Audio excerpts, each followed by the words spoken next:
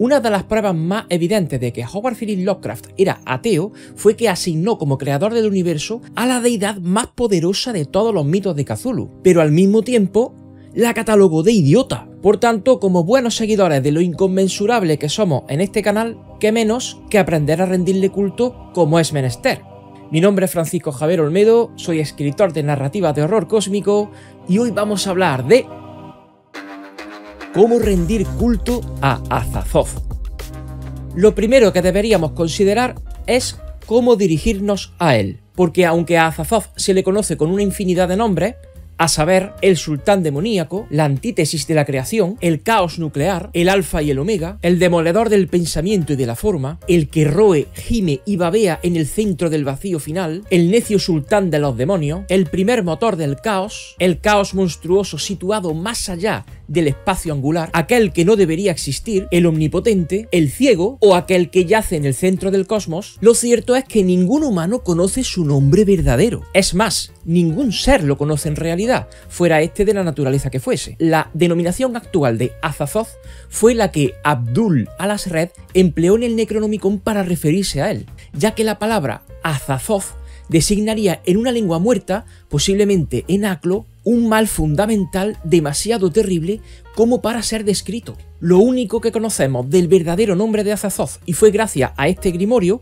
al margen de algún que otro texto también maldito, es que resulta tan pavoroso y abrumador que nadie ni nada osaría jamás pronunciarlo, porque según parece, su simple mención arrastraría al invocador a un estado de locura tan extraordinario que lo trasladaría irremediablemente a la muerte en escasos segundos. Por tanto, en realidad no podríamos adorar a Zazoth pronunciando su nombre verdadero. Empezamos mal. A pesar de todo lo que os acabo de decir, mencionar el simple nombre de Azathoth dentro de los cánticos oportunos, sí es verdad que nos concedería gran poder sobre ciertas criaturas exteriores. Quedaría entonces por descubrir cuáles serían esos cánticos apropiados.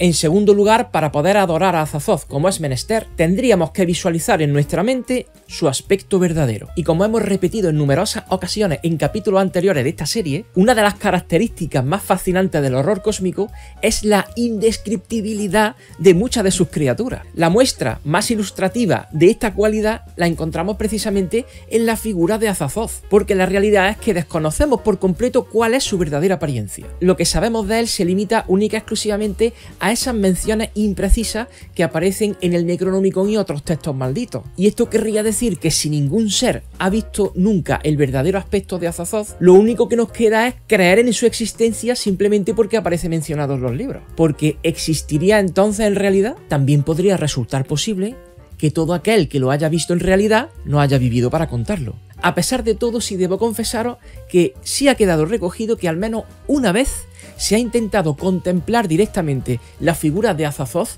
con los ojos desnudos y por un momento incluso llegó a atisbarse una ínfima parte de su apariencia. Lo que ocurrió antes, durante y después de ese terrible acontecimiento lo tenéis recogido en el capítulo de mi ópera prima Bajo nuestros pies, el cual podéis escuchar gratuitamente en el enlace que os dejo aquí en la descripción. Muchos de vosotros ya sabéis a qué me refiero. Y bien, en tercer lugar, para adorar a Zazoth como es menester, tendríamos que intentar establecer un diálogo con él. Y de nuevo nos encontramos con otro obstáculo, porque la característica más destacable de Azathoth, al margen de ser una criatura omnipotente, al igual que quizá lo sería Yog-Sothoth, y también al margen de su inconcebible tamaño, que ya sabéis que puede llegar a ser de dimensiones galácticas, es que Azathoth resulta una entidad ciega, adormecida y carente de inteligencia. Pero no fue así siempre, porque no nos dejemos engañar, que el que haya tenido que ser sometido a ese encarcelamiento en sí mismo no es más que una evidencia de cuál puede ser su grado de poder. Imaginaos, si ha tenido que ser cegado, dormido e idiotizado para impedir que sus insanos caprichos pusieran fin a la propia creación. Porque aunque hay diversas fuentes que intentan hipotetizar cuál podría haber sido el origen de este encarcelamiento, las fuentes más fiables informaron que sería el resto de dioses exteriores los que optaron por limitar la acción de Azathoth para evitar el exterminio de su propia calaña. Y esto es así porque Azathoth más que una posible deidad a la que servir o combatir, es vista por la totalidad del panteón de los mitos como toda una fuerza de la naturaleza, un empuje arrollador e incontrolable con el que no se puede interactuar. Pero entonces, ¿cuál sería la herramienta que usaron estos dioses exteriores para doblegar a tamaña astronómica deidad? Pues fue el uso de lo que los estudiosos del ocultismo denominaron la corte de Azazoth. Dentro de unos momentos nos centraremos en ella. Y bueno, en cuarto lugar, ya que no podríamos tratar directamente con Azazoth debido a su necedad, y si hacemos lo mismo que sucede por ejemplo en el cristianismo, que aprovechamos la intercesión de los santos para hablar con Dios, en este caso usando a otras deidades para que intercedan por nosotros con Azazoth. Pues que de nuevo nos encontraríamos con otro inconveniente más, porque en el poema Azazoth del gran maestro Howard Philip Lovecraft se indica explícitamente que el caos nuclear provoca en todo el panteón de los mitos un auténtico terror. Y no os hablo de sentir respeto, os hablo de sentir auténtico miedo. Imaginaos a seres tan titánicos y poderosos como Cthulhu o Shum-Niggurath huyendo como gallina ante la presencia de Azazoth. Y coincidiráis conmigo en que esto resulta un detalle súper atractivo, porque esta circunstancia resulta única en todo el horror cósmico. Solo hay una deidad a la que todos temen, una, la que es más poderosa, pero es que a su vez esa criatura poderosa es sometida por todos los que la temen, manteniéndola ciega, adormecida e idiotizada a través de la corte de Azazoth. ¿Y por qué es tan atractivo este hecho? Pues porque esta tóxica relación entre el panteón de deidades de los mitos con Azazoth los deja a todos sometidos a un frágil y peligroso equilibrio entre todos contra uno y uno contra todos. Un equilibrio que dura hasta nuestros días, pero ¿qué podría suceder si en algún momento se quebrara? ¿Qué creéis que podría pasar si en algún instante la corte de Azazoth cesara en su desempeño? Dejadlo en los comentarios que podamos revisar vuestras hipótesis. Y bueno, sabido lo anterior, ¿nos quedaría entonces alguna deidad con la que pudiéramos interactuar para que intercediera por nosotros con Azazoth? Teniendo en cuenta que todos le temen, pues lo cierto es que sí, porque es verdad que existe una deidad tan astuta y temeraria que no solo es capaz de interactuar con el propio Azazoth, sino que suele aprovecharse de su figura adormecida para sus propios propósitos. ¿Y de quién estaríamos hablando? Pues cómo no, del archiconocido Nyarlathotep, el cual sabemos que se ha servido a menudo del miedo a Azathoth para cumplir sus propios objetivos. De hecho, no es extraño que la figura de Nyarlathotep aparezca acompañada de un distante sonido de flauta infernales, una evidente relación directa con la corte de Azathoth.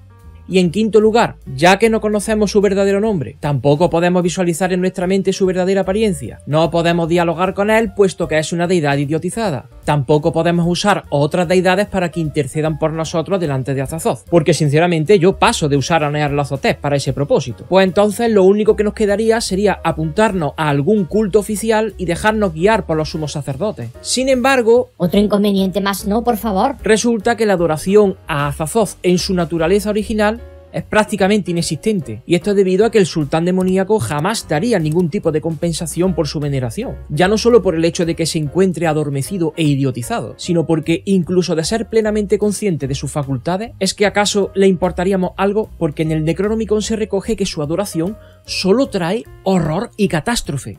Es por eso que solamente un loco o un criminal o ambas cosas, dedicaría su tiempo a venerar a esta criatura. Y yo no sé vosotros, pero yo no me encuentro todavía lo suficientemente demente como para cometer esa locura, al menos por ahora. Y que conste que sí han existido algunos maniáticos que han llegado a venerarlo, porque viendo el lado positivo que esto tendría, contemplar al universo en su desnudez más primitiva es una extraordinaria muestra de conocimiento verdadero, aunque este conocimiento te arrastre irremediablemente hasta una muerte segura e inmediata. ¿Y de qué relatos podríamos sacar todas las conclusiones que os he presentado hasta ahora? Pues para nuestro agrado veréis que la colección es bastante extensa. Hablaríamos del poema Azazoth en primer lugar, del gran maestro, la búsqueda onírica de la Ignota Kadaz, el que susurra en la oscuridad, también de Howard Phillips Lovecraft, Sueño en la casa de la bruja, del mismo autor, El ser en el umbral, El morador de las tinieblas, también de Howard Phillips Lovecraft, El horror que nos acecha, de Robert Bloch, los insectos de Shagai de Ramsey Campbell, La mina de Yugoth de Ramsey Campbell, Hydra de Henry Kattner, El horror en la galería de Lynn Carter, la traducción de John Dee del Necronomicon de Lynn Carter, Elysia de Brian Lumley, Los que acechan en el abismo de Brian Lumley también, La última noche en la tierra de Gary Myers, La piedra filosofal de Colin Wilson y, como no, Bajo nuestros pies de un servidor Francisco Javier Olmedo, porque ya sabéis la importancia que tiene para mí la figura de Azazoth. En conclusión, y viendo el elenco de adversidades que nos encontramos al intentar adorar a Azazoth, yo creo que lo más sensato es que nos quedemos de tranqui, venerando al resto de deidades del panteón de los mitos que ya sabemos que hay dioses para aburrir. No obstante, y añadiendo un último apunte sobre el tema de la veneración, no podemos ignorar que en realidad sí hubo un par de cultos que adoraron oficialmente a la figura de Azazoth. En la Tierra, en sus etapas primitivas de existencia, lo hicieron los Nofkes. Y también le rindieron pleitesía los Shans, denominados de igual modo los insectos de Shagai. Y fijaos qué curioso que estos últimos no adoraban a la figura original de Azazoth, sino a su único avatar conocido, porque sí, incluso el dios adormecido e idiotizado ha tenido un avatar. Os hablo de Shada Gla, una ciclópea concha bivalva soportada por un sinfín de patas flexibles, de cuyo caparazón semiabierto sobresalen una multitud de diversos cilindros articulados rematados en pólipos. Y curiosamente, en la oscuridad de dentro de dicho caparazón semiabierto podría atisbarse el rostro verdadero de Azazoth. Pese a todo y a las pruebas me remito, nada ni nadie ha sido capaz de contemplarlo. Cabe destacar que también ha quedado recogido que los rituales de los Shans para adorar a Shadagla son absolutamente abominables. Y bien, ha llegado el momento de que hablemos de esa herramienta tan eficaz como para mantener sometido al dios más poderoso de los mitos de Cthulhu. Y ya habéis visto que hemos hablado de ella como la corte de Azazoth. Pues muchos ya lo sabéis, y los que no, le dedicamos un capítulo entero del mitonauta a la corte de Azazoth. Así que ya estáis tardando. Nos vemos allí.